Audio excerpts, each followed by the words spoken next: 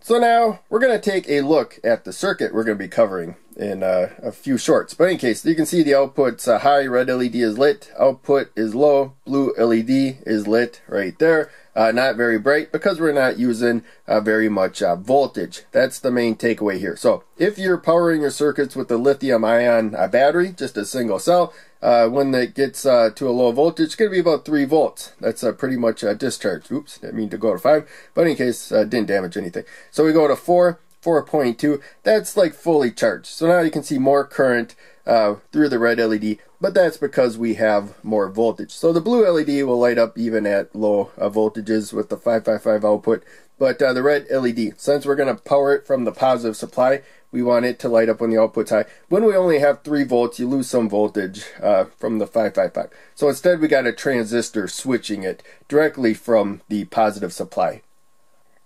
So now we got the schematic that I drew, and we're kind of far away because I'm going to make this into a short. Hopefully I got that all into frame. But the main takeaway is, uh, we're only going to be working with about uh, 3 volts if we have a battery that is discharged right there. So the output does not power a red LED, in this case, uh, very well at uh, 3 volts. And uh, so better to send that signal to a transistor that turns that transistor on.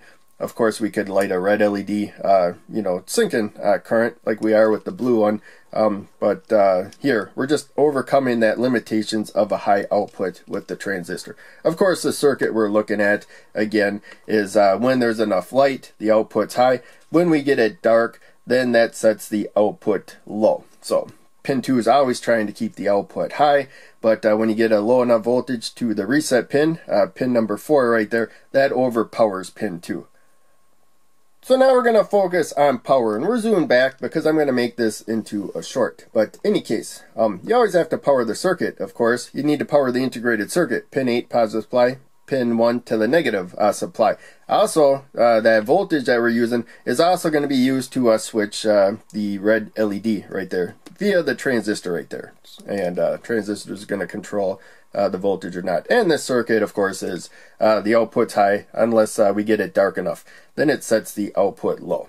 So um, we're not going to dwell on that too much. Here's the actual circuit. So again, we're focusing on power. Pin 8 there is to the positive supply. You can see where we got uh, negative. Um, both of these alligator clips are clipped to that jumper. But yeah, positive comes over here to the red alligator clip coming from the power supply. And then pin number 1 right there, you can see directly to the negative supply you know, uh, following that path back to the alligator clip. So now, when it comes to the basic function of uh, this circuit here, and I will zoom back for those that are watching uh, the shorts, but uh, any case, uh, we got um, the output is going to be high unless it gets dark enough. We're only working with 3 volts, uh, by the way. And uh, so, to accomplish that, I tied pin 2 to ground right there. That tells the output to stay high. And I just used a jumper, but you could use a resistor. Um, so in any case, the reason why the output goes low when it gets dark enough is because 4 overpowers 2. That's the main thing to understand. But it's important to understand too that pin 2 is what's telling the 555 timer to hold the output high. As you can see there, unless it gets too dark, then uh, pin 4 jumps in. And we're only working 3 volts, so the blue LED is not uh, very bright. And the red LED needs a transistor um, to switch. But in any case, uh, there we go. We got pin number 2 there to the negative supply. So now we're zoomed back from the schematic again to uh, kind of help those that are watching these shorts. But um, when this 555 timer circuit, LDR, gets uh, darkness on it, it sets the output low. Otherwise, the output is held high. As we mentioned before, pin 2 is always trying to do that, but pin 4 is more powerful. That's the uh, main thing to remember. So we have a voltage divider here. When enough light is falling on the light dependent resistor, it holds the voltage up, you know, closer to uh, the supply voltage. And therefore pin 4 does nothing. When we get it uh, dark enough right there, we get a pretty good connection to ground right there. And that's when pin 4 overpowers pin 2.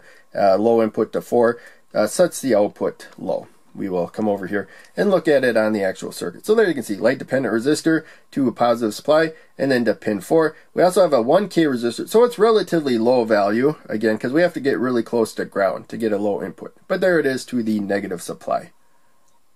So again, zooming back for those watching the short. We have the 555 timer. The output is low thanks to pin 2 until we get it dark enough, uh, thanks to pin 4, reset pin pin 2 is the trigger. Now, we cannot uh, power an LED probably directly uh, with 3 volts because LED drops some voltage, power supply loses uh, some voltage from the, or the output I mean, loses some uh, voltage when the output is high, but not when the output's low, really. So, in any case, we just need a high output there. Going to a transistor, 2N3904 is going to work. So, we can use a resistor there to limit the current. In fact, we have to, but in any case, um, we just need a little bit of base to emitter current to get the transistor to turn on fully right there. So that switches the red LED on.